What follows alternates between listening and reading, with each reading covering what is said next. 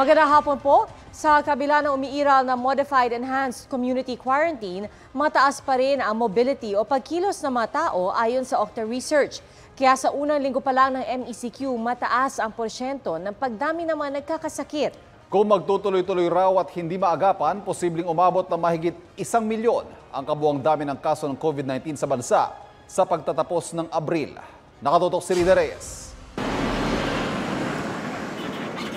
Sa pagtatapos ng unang linggo ng Modified Enhanced Community Quarantine o MECQ sa NCR Plus, muli na namang sumipa ang mga bagong kaso ng COVID-19 sa Metro Manila. Sa pinakahuling datos ng Octa Research Team, nasa average na 5,000 new cases kada araw ang naitatala sa Metro Manila. Mas mataas kumpara sa average na 4,798 cases sa kasagsagan ng ikalawang linggo ng Enhanced Community Quarantine o ECQ. Kaya ang growth rate o antas ng pagdami ng mga nagkakasakit na bumagsak na sa negative 10% sa pagtatapos ng ikalawang linggo ng ECQ nitong April 11, muli na namang sumipa sa positive growth rate na 4% as of April 17, kasabay ng pagtatapos ng unang linggo ng MECQ. Bagaman maaga pa raw para maglabas ng konklusyon dahil hindi pa naman tapos ang MECQ, nababahala ang grupo na baka hindi epektibo ang MECQ. Baka hindi gana itong version natin ng MECQ right now. It's concerning na you know, a few days pa lang nakikita natin MECQ na effects and we're already seeing a change in a possible change in trends. Sa mga lungsod sa NCR, tanging Pasay at Tagig lang ang nakapagtala ng negative growth rate. Sa kabila ng umiiral na MECQ, kapansin-pansin daw ang mataas na mobility o pagkilos ng mga tao. Posible rin daw makadagdag sa tsansa ng hawahan ang pagpunta ng mga tao sa vaccination centers at lugar kung saan nagbibigay ng ayuda. Kung magtutuloy-tuloy daw ang numerong ito, tingin ni David malayong maabot ang below 1.0 na reproduction number o bilis ng hawahan na target sanang maabot sa susunod na linggo. Kung hindi ito maaagapan, baka nga raw umabot na sa isang milyon ang total COVID cases sa bansa sa susunod na linggo. By end of April, we'll definitely have more than 1 million cases. Baka nasa 1 million 50,000 na nga tayo to 1 million 75,000. So we have a range.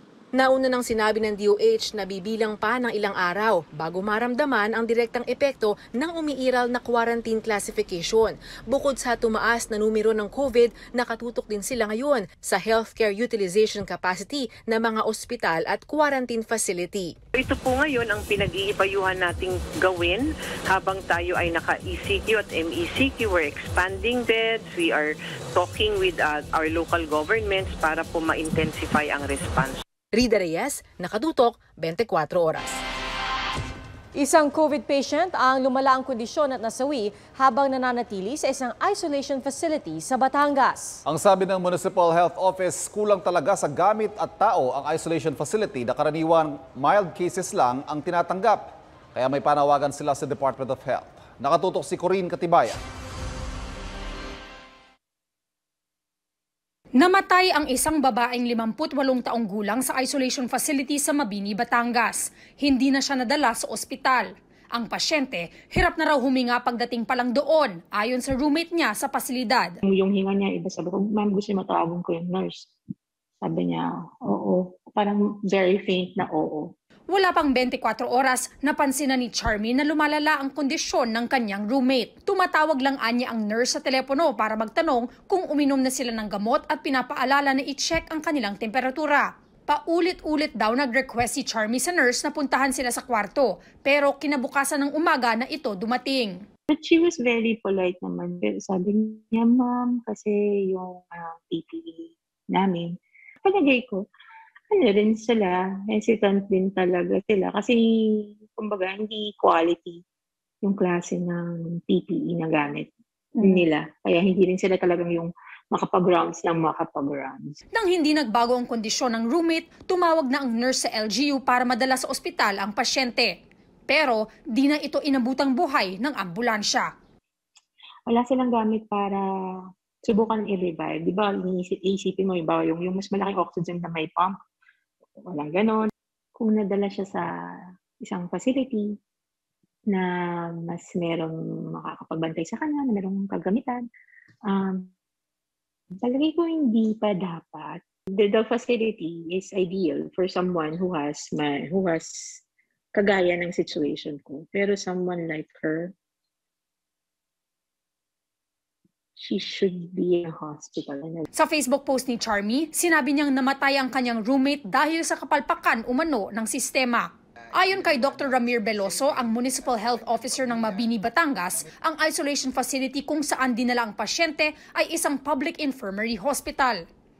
Ibig sabihin, tumatanggap lamang sila ng mga may mild symptoms ng COVID tulad ng ubo, sipon at lagnat. Pero kahit hirap na sa paghinga ang pasyente, sa panahon daw na iyon, walang mapagdalhang mas malaking ospital. Upang mabigyan siya ng pakunang lunas, ay inadmit namin siya. Gayunpaman ay mariin namin na ipinaliwanag sa pasyente at sa kanyang pamilya na may kakulangan ang ospital. Kulang sa gamit, kulang sa manpower, at kulang sa mga supplies. Kaya bilang pangunang lunas ay siya ay aming na-admit. Agad naman daw nabigyan ng pasyente ng iba't ibang gamot para sa kanyang underlying medical conditions. Patuloy raw ang ganitong sitwasyon sa kanilang munisipalidad. Kaya hiling nila sa DOH, mapagkalooban sila ng ICU tents at equipment.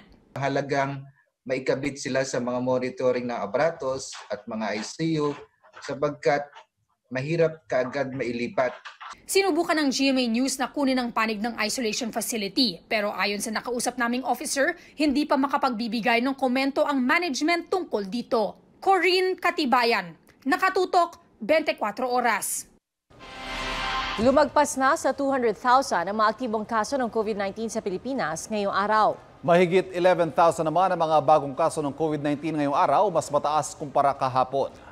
Pangatlong araw na ito na mahigit 10,000 ang mga bagong kaso ng COVID-19.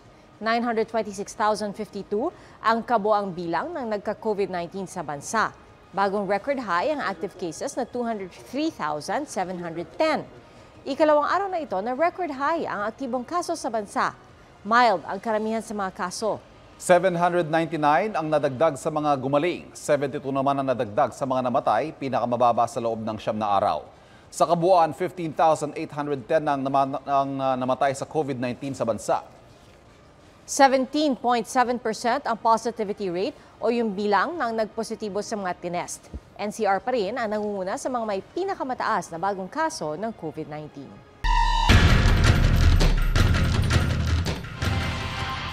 Nagbanggaan ang isang wing van at dump truck sa Bacolod City. Nakuna ng video ng Police Station 9 ang wing van na mag u-turn sa barangay Sumag. Pero bago pa tuluyang makaliko, nasalpok ito ng parating na dump truck. Wasak ang unahang bahagi ng dalawang truck. Ay sa mga otoridad, nagkaareglo na ang dalawang driver na parehong nasugatan. Wala silang binigay na pahayag. Ang ulat panahon ng tunay na weather forecaster, Nathaniel Mangtani Cruz. O mga kapuso, lalo pa pong lumakas ang bagyong bising at nadagdagan pa yung mga lugar na mayroong wind signal. Sa ngayon, nakataas na ang signal number 2 dyan sa may Catanduanes, Northern Samar, Eastern Samar at Samar. Yung mga nabanggit na probinsya, makakaranas po ng mga matitinding bugso ng hangin at mga pagulan sa mga susunod na oras, mga kapuso. Signal number 1 naman, dyan sa may Sorsogon, Albay, eastern portion ng Camarines Sur, eastern portion ng Masbate, kasama ang Tikaw Island. At dyan sa Visayas, signal number 1 sa Biliran, Leyte, Southern Leyte at Camotes Island. Sa Mindanao, nakataas din ang signal number 1 sa Dinagat Islands, Surigao del Norte, kasama ang mga isla ng Bukas Grande at Siargao at dyan sa probinsya ng Surigao del Sur. Huling namataan kaninang hapon ang sentro ng Bagyong Bising sa layong 460 kilometers silangan ng Giwan o east ng Giwan, Eastern Samar. At taglay nito ngayon, ang lakas ng hangin na umaabot na ng 195 kilometers per hour near the center. Ang kanyang bugso po ha, hanggang 240 kilometers per hour na. Kumikilos ito pa kanluran, hilagang kanluran o west-northwest sa bilis naman na 25 kilometers per hour. Sa latest forecast ng pag-asa, nananatiling mababa ang tsansa nitong maglandfall mga kapuso o tumama yung sentro sa kalupaan sa ngayon, pero posible pa pong magbago yung kilos ng bagyo na yan sa mga susunod na araw. Inaasahan din na lalakas pa ang bagyo habang lumalapit dyan sa may Samar at Bicol area habang nasa may karagatan. At kung mapapansin nyo mga kapuso, hindi na po siya magre-recarve kaagad pag lapit dito sa may Bicol region. Magtutuloy-tuloy yung kanyang kilos pa northward at saka lamang unti-unting kikilos pa northeast kapag ito ay nasa may silangan na ng Cagayan Valley. Sa rainfall forecast ng Metro Weather dahil sa bagyo, maghapon po ang malalakas na ulan at hangin sa Bicol Region. Bukas stormy weather ang mararanasan dyan mga kapuso. Ha? Kaya maging IM ready sa posibleng pagbaha at yung pong mga pagguho ng lupa. Meron din mga thunderstorm o pagkulog pagkidlat dyan sa mga probinsya ng Cagayan, Isabela, Kalinga, Apayao, Palawan at maging sa Romblon. Sa Visayas, ramdam na po ang masungit na lagay ng panahon simula ngayong gabi, lalong-lalo na dyan sa may summer provinces. Hanggang bukas na po yan maghapon ng linggo. May mga pag-ulan din sa Cebu at Bohol pagdating sa hapon. Mga kapuso, ha, matitinding hangin at ulan ang inaasahan dyan sa may Eastern Visayas, kaya manatiling IM ready po kayo. Sa mga taga Mindanao, buong araw namang maulan at malakas din ang hangin dyan sa may Surigao provinces.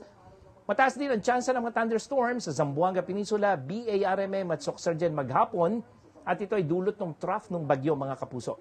Sa mga taga Metro Manila, magiging maulap po tayo bukas at may mga mahihinang pagulan sa hapon sa ilang lamang lugar tulad niyan sa may Kamanava at Quezon City.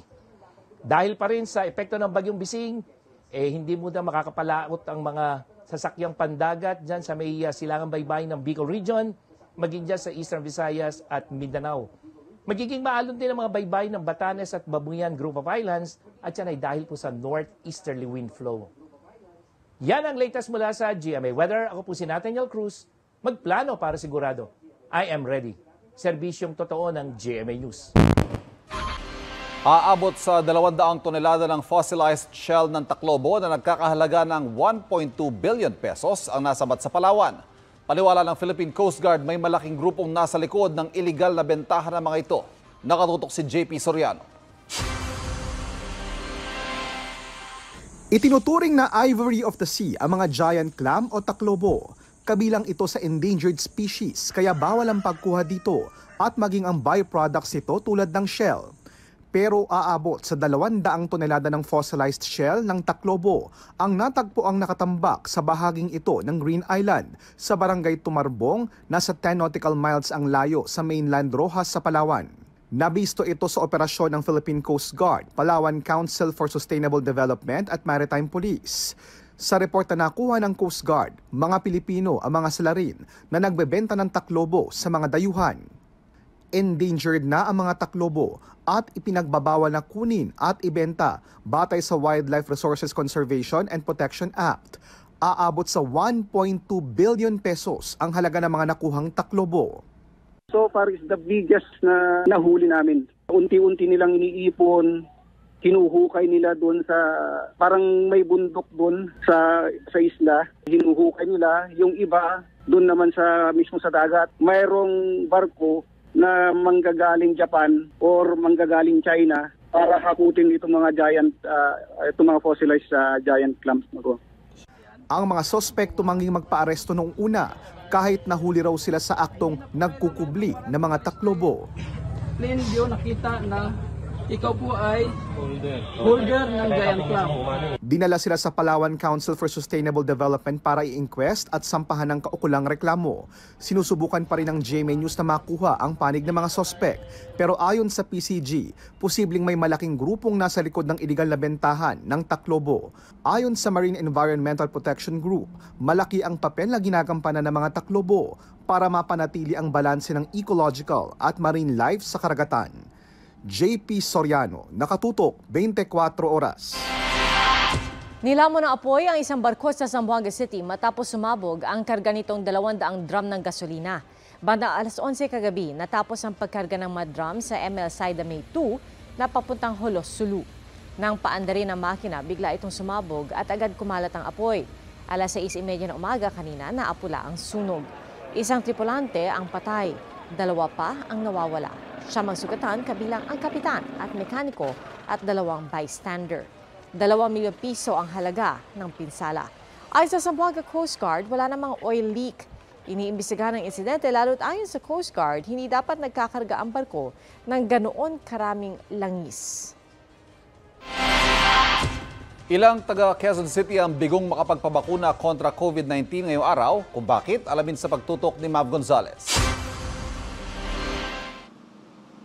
Tanghaling tapat pero sinadya ng mag-asawang Alfonso at Carmen ang Commonwealth Elementary School sa Quezon City para magpabakuna kontra COVID.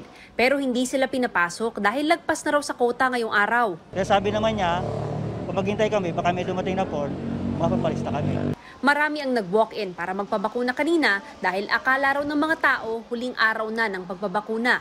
May ilang nakapasok dahil may dumating na 100 doses ng Sinovac vaccine. Pagdating po namin, ah, akala namin na andito na yung pangalan namin. Pero pagdating po doon, sabi nila, ang ina-accept nila, 249 lang daw po yung vaccine.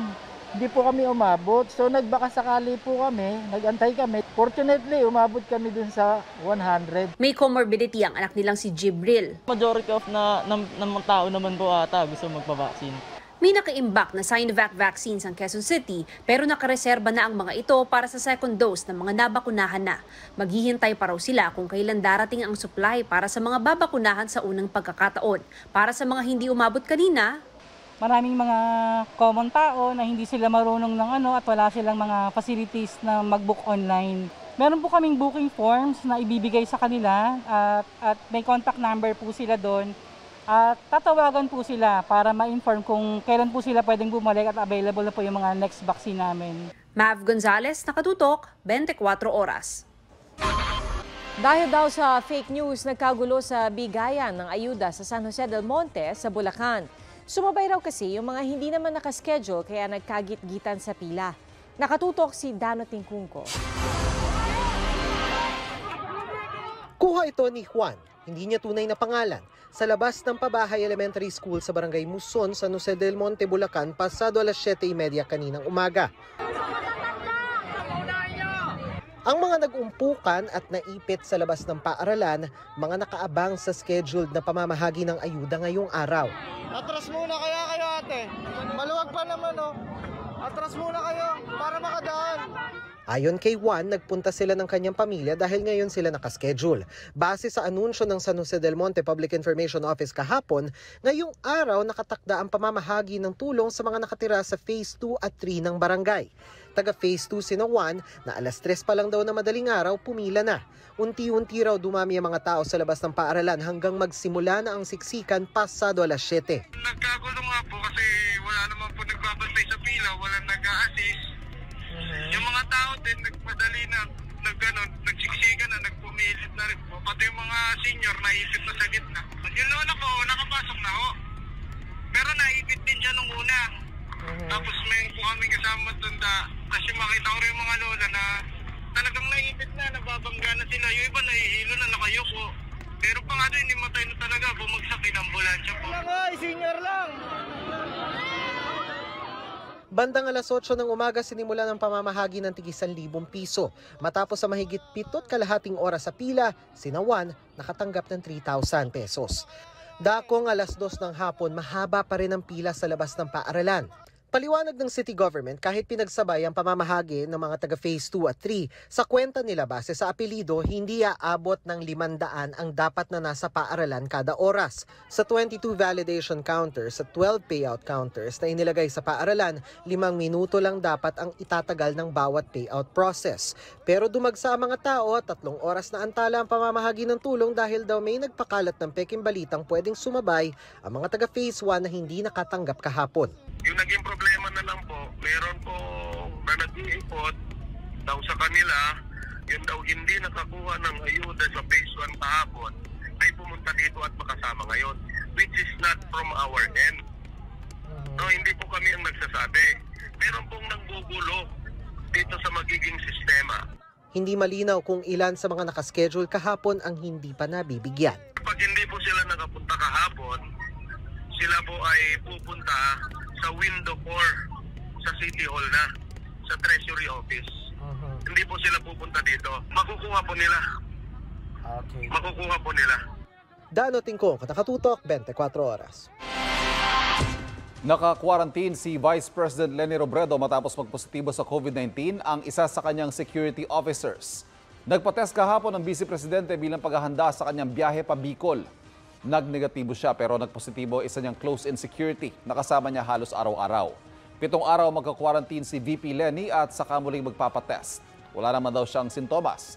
Patuloy rin niyang babantayan ang lahat ng operasyon kabilang bayanihan, e-konsulta at swab cab. Dahil sa dami ng bibigyan ng ayuda sa isang barangay sa Las Piñas, tatlong payout sites ang itinayo. At ang ilan sa mga nakatanggap na, tatlong araw raw ng tiis sa pila. Nakatutok si Von Aquino.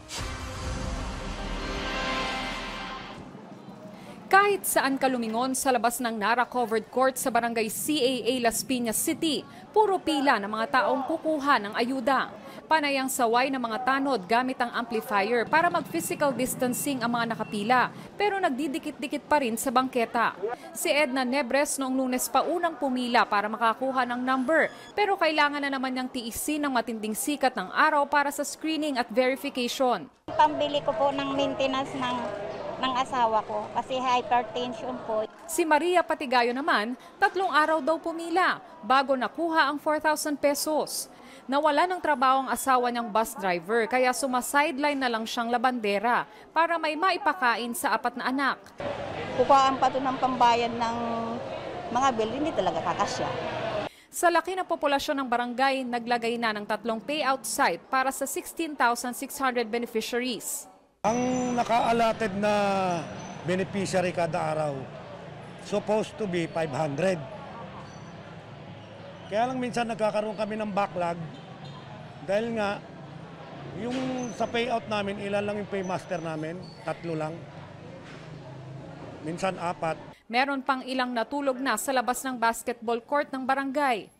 Yung mga taong iba doon talagang hindi kasali. Yun yung nag-antay lang ng pagtatapon ng basura nila.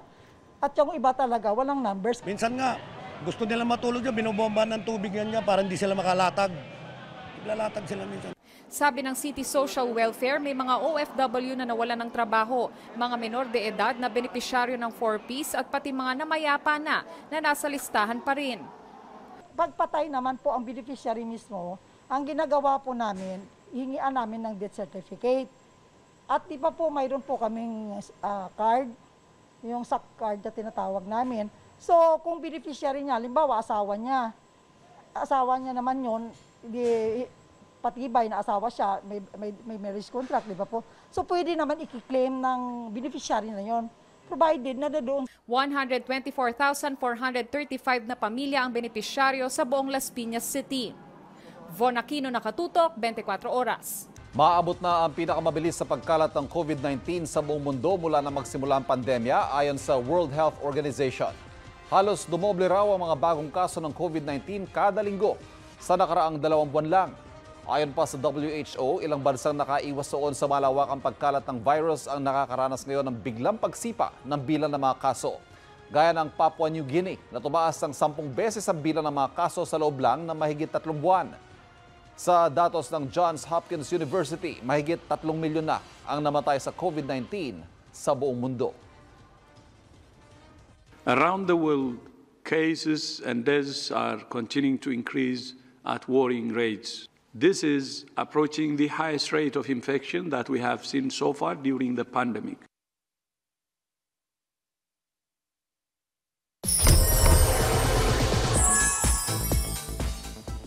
Hindi napigil ng pandemya ang ilang kapuso stars para ma-enjoy ang summer. At kahit absent sa beach, may diskarte sila para makapag-bonding at makapagpalamig. Makichika tayo kay Katati Put on hold muna maraming vacation plans ngayong may pandemya. Pero para ma-enjoy ng Kapuso Stars ang summer, to the rescue ang inflatable pools. Tulad sa Soto household, kung saan bukod kay Tali, na-enjoy rin ni na Daddy Vic at Mommy Pauline ang big slide. Happy rin ang birthday boy na si Baby Sixto Dantes sa pa-swimming party ni na Mommy Marian Rivera at Daddy Ding Dantes. Ang pamilya ni Camille Prats, swimming naman sa pool sa kanilang family rest house sa Batangas ang isa sa mga bonding activities si Sanya Lopez. May gift naman para sa pamilya at pamangkin habang marami pang revision sa interior ng kanyang bagong bahay. Umorder ako ng ano, ng pool sa bahay. Yung ano lang, ang tawag doon, parang uh, Lona lang yata siya eh, parang ganon. Kasi yung may, mga kids din dito. So actually, binili ko yon for kids ng mga nandito kasi lagi silang nagsasabi na hindi mo lang kami nakakaalis. So wala kami masyado, hindi sila nakakalabas. So para maging happy naman sila. Missing the beach life din si Patricia Tumulak. Bukod sa sun and sea, hilig ni Patricia ang yoga and exercise sa kanyang vacation destination. Pero ang vibes na yon, feel na lang muna niya sa bahay. I started um, reading mga self-help books that led to meditation, and then for self-control, yoga, hanggang workout. Paunti-unti nagpagawa ako ng gym sa bahay para talagang full-time commitment na. Group effort naman ang pagme-maintain ng active at healthy lifestyle ni na Jeneline Mercado at Dennis Trillo. Katatibayan, updated sa showbiz happenings. And that's our Chika this Saturday night. Ako po, si Nelson Canlas. Pia, Ivan?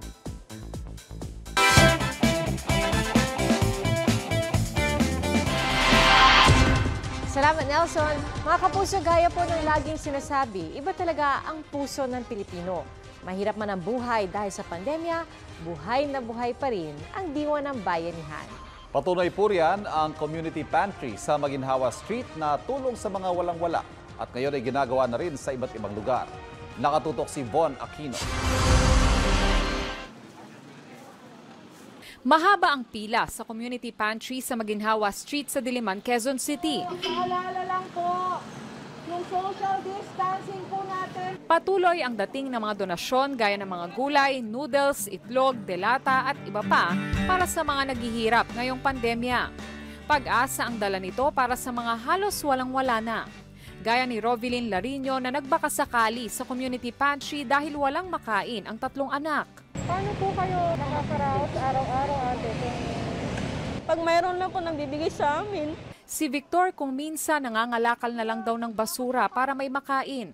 Wala mami, wala makain eh. Gutom yung mga Pilipino eh. Ibig sabihin nandun yung pangangailangan. Hindi lahat may ayuda. Mula nang mag-viral ang community pantry sa Maginhawa, ginagawa na rin ito sa ibang lugar, gaya sa Barangay Pinyahan at sa Kamyas. May gumawa na rin ang community pantry sa Pinoval sa Maynila. Nakakatuwa kasi akala namin may, kukuha lang ng kukuha yung tao pero nagugulat kami na mas marami rin pala yung nagbibigay. Papadala na lang dito ng mga, tulad ng isang araw kanina, may napadala ng kamote at saging.